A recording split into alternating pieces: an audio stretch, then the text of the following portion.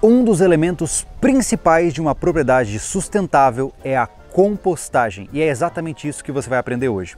Aqui no nosso canal, na Chácara SV, você viu a gente produzindo todo esse sistema aqui atrás. Mas agora está na hora da gente evoluir o jogo, está na hora da gente começar a depender do solo que está sob os nossos pés. Então a pergunta é, como é que eu posso fazer para deixar esse solo mais rico? Como é que eu posso fazer para isso aqui produzir o alimento que vai cair na mesa da minha família? Hoje você vai aprender a compostagem, uma forma de criar adubo da melhor maneira possível e o melhor ainda, sem gastar muito para que o seu solo seja o mais fértil que você conseguir. Vamos lá?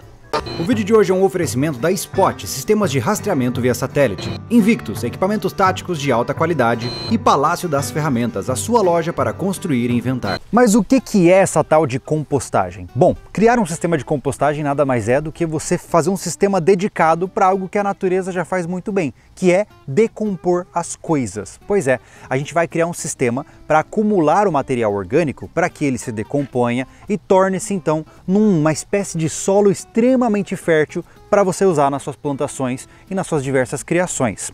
Por exemplo, aqui se você for para pensar, eu tenho um trator de galinhas. O que elas estão fazendo nesse momento é fertilizar o solo por meio das fezes que elas soltam. Contudo, isso não é necessariamente a maneira mais eficiente, visto que você tem um lugar específico, montadinho, onde você cria as condições perfeitas para essa decomposição ser mais acelerada, com certeza é uma opção muito mais válida para quem precisa disso. Então o primeiro passo é o seguinte, temos que escolher onde é que a nossa composteira vai ficar. Vamos começar. A nossa realidade aqui é uma chácara de 1.500 metros quadrados, ou seja, tem bastante espaço, tá? Por que, que eu estou dizendo isso para você? Porque a compostagem é um negócio que precisa ser um pouco isolado da sua casa. Isso porque, especialmente em tempos muito úmidos, aquele material que tem apodrecimento pode soltar um mau cheiro que vai chegar até a sua casa se for muito próximo.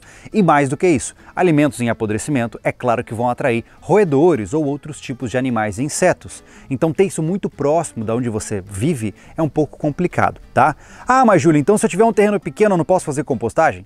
Pode, mas aí a técnica vai ser diferente. O que eu vou mostrar para vocês agora é o que se enquadra na nossa realidade de uma pequena chácara. Se você visa morar numa chácara no futuro, esse aqui é o melhor caminho para você fazer um sistema de compostagem, beleza?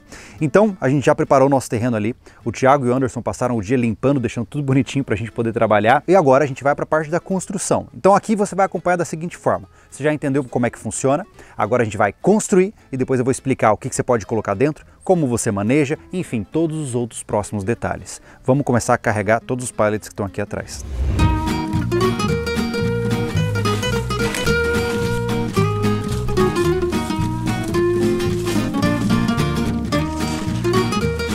Ó, aqui assim fica legal, né? É. Isso. É Beleza. O que nós vamos fazer aqui agora é unir os pallets em um formato de um M. Imagina que a gente vai pegar um M e colocar ele deitado assim, ou seja, colocar três baias diferentes para que você possa ter três estágios diferentes de compostagem.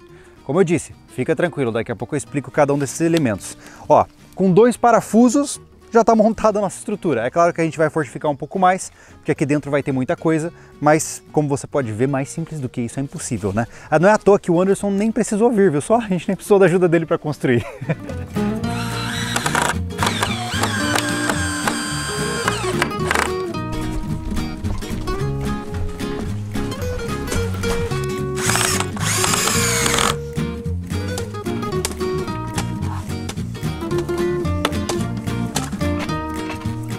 Sob medida, hein?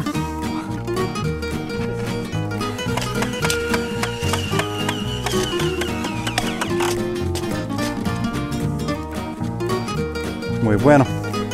Dije la mula de freno.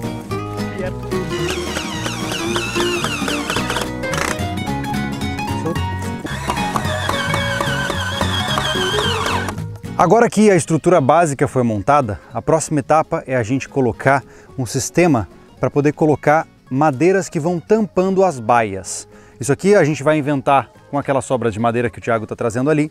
E a ideia principal é a seguinte, conforme a gente vai acumulando matéria orgânica nesses locais, ele vai ganhando altura e naturalmente ele vai começar a ir para fora se a gente não colocar um bloqueio. Então, você vai ver isso na prática daqui a pouco, conforme a gente vai colocando matéria orgânica, a gente vai empilhando tábuas na frente para fechar e manter tudo isso aqui ah, composto aqui em um único local e compartimentalizado, tá?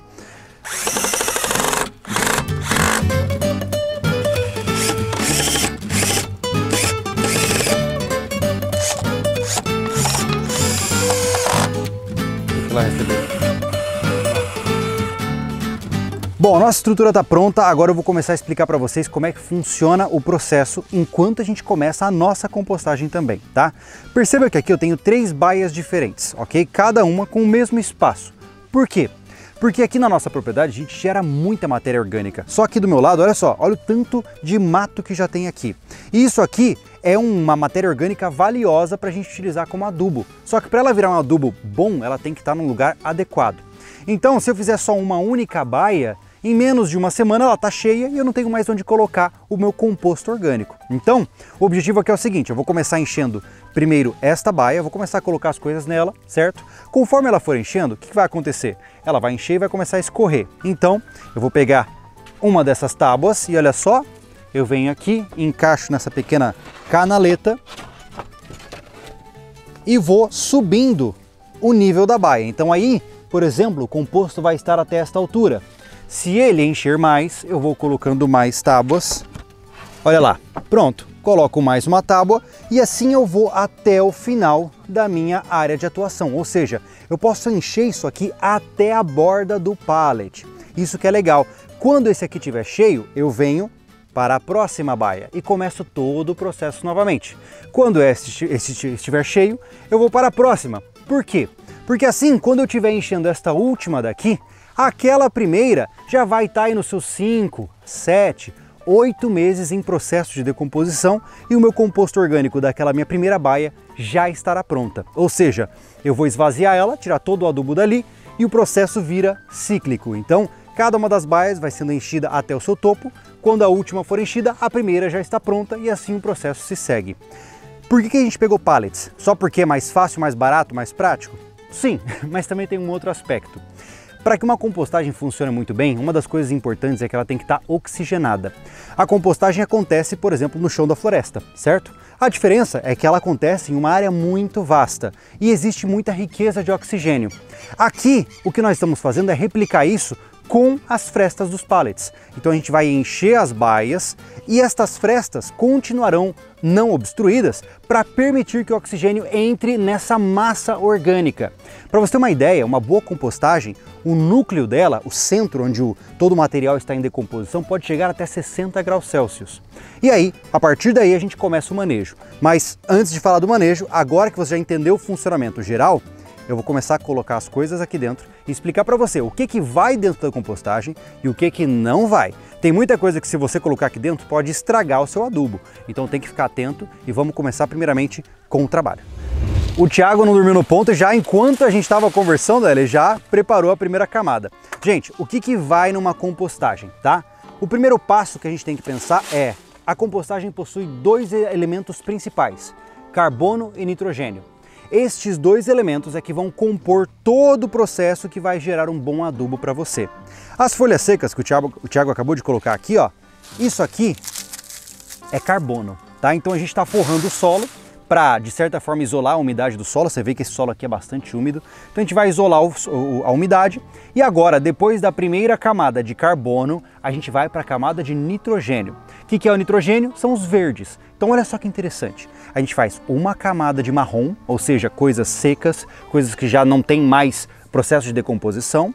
Depois uma camada de material em decomposição, verde, depois uma camada marrom, depois uma verde e assim consequentemente. Contudo, uma dica importante, tá? Se eu coloquei isso aqui, ó, eu não posso agora colocar até aqui de composto orgânico em decomposição. Eu tenho que ir fatiando em camadas finas, fazendo assim um processo de decomposição muito mais eficiente. Mas vamos mostrar na prática. Já colocamos aqui o nosso marrom, o carbono, agora vamos para o nitrogênio. O melhor lugar para conseguir o nosso nitrogênio, ou seja, o nosso composto em processo de decomposição, está aqui dentro.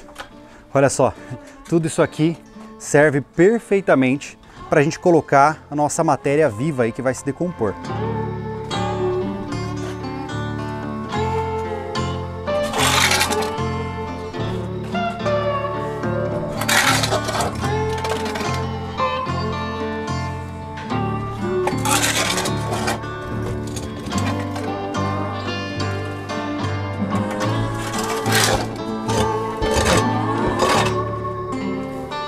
Temos aqui a nossa primeira, a primeira carriola de esterco de galinha que nada mais é do que matéria orgânica em composição, em decomposição, ou seja, produção de nitrogênio. Ó, vou chegar aqui na borda, vamos jogar, aí, e agora vamos espalhar isso daí. A enxada tá para lá, então vou usar esse aqui mesmo. Olha só, eu vou sobrepor a cama de folhas secas que a gente fez, certo? Pronto. Agora, depois dessa camada de produção de nitrogênio, mais uma camada de carbono.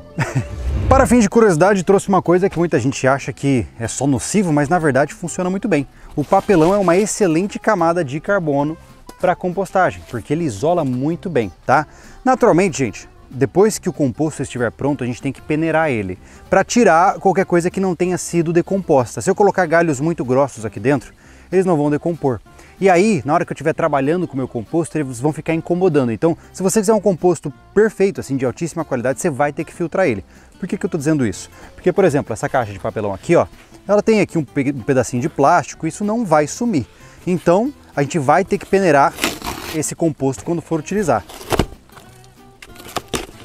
Mas é bem simples, ó. A gente desmonta a caixa inteira, joga por cima e dá-lhe mais titica de galinha.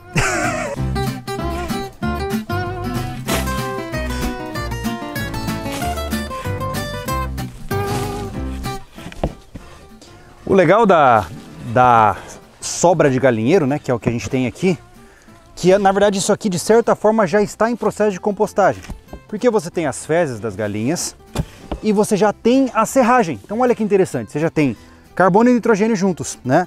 Então esse material aqui ele já está em processo de decomposição da forma adequada, o que acelera com certeza o resultado final do nosso projeto. Uma outra dica que eu posso dar é a seguinte: se você tem um gramado bonito em volta da sua compostagem, você não quer um lugar feio, né? O que você pode fazer é colocar uma telinha de galinheiro por dentro. E aí você tem uma maior retenção dos detritos dentro da caixa. Porque é óbvio, né, gente? Essas frestas aqui, ó, se eu jogo assim, vai cair um pouco para fora, né? Então essa é uma maneira até inclusive para você dificultar a entrada dos, ro dos roedores, tá? Mas sinceramente é quase inevitável que você vai ter ratos próximos da compostagem, não tem o que fazer. Mas enfim, ao menos você deixa um ambiente esteticamente agradável se sua casa já é toda né, bonitinha. Bom, mais uma vez, próxima camada agora de carbono. Vamos lá.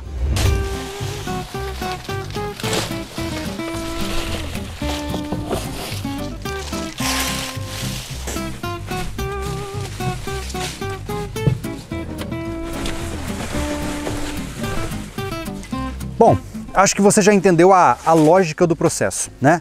Mas agora você deve estar se perguntando, pô, Júlio, então, mas se eu não tenho um galinheiro, o que, que eu coloco, né? E se eu não tenho isso aqui, o que, que eu coloco no sistema de compostagem? Gente, a regra é bastante simples, tá? Tudo que é carbono, pode ser folha de papel, pode ser papelão, pode ser qualquer coisa que é derivado de madeira, tá? Óbvio que se você colocar gravetos muito grandes, ó, o que, que o Thiago está fazendo ali? Ele está pegando só as folhas, porque se ele colocar gravetos, por exemplo, Ó, essa folha de bananeira aqui. Se eu colocar isso aqui na compostagem, o que, que vai acontecer? Isso aqui vai com certeza é, apodrecer muito mais rápido do que o caule da bananeira. E aí quando eu for mexer esse composto, o que, que vai acontecer? Vai ter um monte de graveto aí travando o negócio todo. Então a gente evita colocar gravetos muito grossos por essa razão, tá? Mas de maneira geral, da parte dos marrons, ou seja, do carbono, folha seca, é, mato seco, qualquer coisa que você utilize seco à base de carbono funciona. No que tange ao nitrogênio, você pode ver, ó, eu coloquei aqui fezes de galinha, colocamos folhas verdes, porque as folhas verdes vão soltar ainda seus componentes durante esse processo, e qualquer outra coisa orgânica em decomposição que não seja carne ou derivados de laticínios, ou seja, derivados de leite, tá? Por que, que a gente não coloca carne? Porque primeiro que demora muito para decompor e atrai muitos animais que vão querer chegar até esse, esse, conteúdo desse local aqui. Segundo, derivados de leite é a mesma coisa, você vai trazer muito rato, muita coisa aqui que talvez não seja interessante, tá? Então essas são as duas regras iniciais e a terceira e última regra, evita colocar muita coisa cítrica ou ácida resto de cebola, resto de, é, por exemplo, bergamota, de laranja, de limão, tudo isso mexe com o pH da sua solução aqui, do teu composto orgânico. Então, evite carne, evite derivados de leite e evite frutas cítricas. Com isso aí, cara, não tem o que errar, tá? Outro ponto importante, é legal por vias de preservação do seu ambiente, não coloque comidas que já foram cozinhadas, principalmente porque elas têm óleo. E o óleo ele não vai se dissolver, ele vai continuar presente ali naquela, naquele composto. Isso pode contaminar a sua comida lá na frente, no futuro, quando você for usar isso aqui, tá? Simples pra caramba, tá? Existem milhares de técnicas e regras de compostagem, onde você vai ver muita gente falando, ah, você pode fazer assim, pode fazer assado. Isso aqui, gente, eu gosto de chamar como a compostagem do preguiçoso, tá? Você só vai jogando para dentro. Seguindo essas três regras básicas, novamente, não coloque carne, não coloque laticínios, não coloque frutas cítricas, tá tudo certo, você vai encher isso aqui e daqui oito meses, com certeza, isso aqui vai ser um solo maravilhoso para sua produção, tá? Bom, Uh, isso aqui é feito por praticamente todos os sitiantes que eu conheço uh, na minha vida. Todo mundo que tem chácara tem uma composteira das mais diferentes formas. Então eu tenho certeza que muita gente aí nos comentários vai poder falar pra gente como eles fazem nas suas casas, nos seus sítios. Então fica à vontade para você confirmar aí, coloca nos comentários. Ó, oh, Júlio, é assim mesmo. Não, Júlio, eu faço diferente e dá certo também. Vamos fazer disso aqui um sistema de é, troca de conhecimento sobre composteiras, tá bom? Gente, é isso aí, tá? Então eu não sei se tem mais alguma dúvida, até porque, como eu disse, encheu isso aqui, deixa assim. O ideal é, se você tiver condições de fazer, é você pegar o forcado, cadê o forcadinho? Olha aí, ó. você pega esse aqui, tá? E uma vez a cada 30 dias, você vai vir aqui e você vai revirar essa amostra. Você vai pegar o que está embaixo, jogar para cima, misturar. Por quê? Porque aí você está fazendo essa, esse material se reoxigenar novamente, tá? E é basicamente isso. A cada 30 dias você vem aqui, dá uma futricada, tá tudo certo. Em cerca de 6 a 8 meses você vai ter um belo de um adubo na sua casa, tá bom? Então, qualquer dúvida, joga nos comentários. Estou à sua disposição. Vamos conversando. Eu também estou aprendendo. Então, se você viu algum erro grosseiro, coloca aí que a gente conversa nos comentários. Eu tenho certeza que a gente vai se divertir muito nesse processo aqui, nesse test drive que está sendo a Chácara SV, tá bom? No mais, nos vemos no próximo vídeo. Eu sou o Júlio Lobo e esteja preparado.